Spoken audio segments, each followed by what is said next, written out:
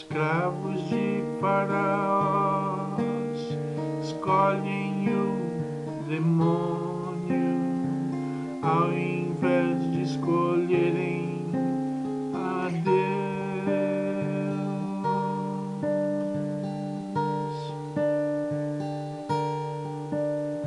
Escravos de Faraós escolhem a Satanás esquecem de Jesus por causa do seu amor.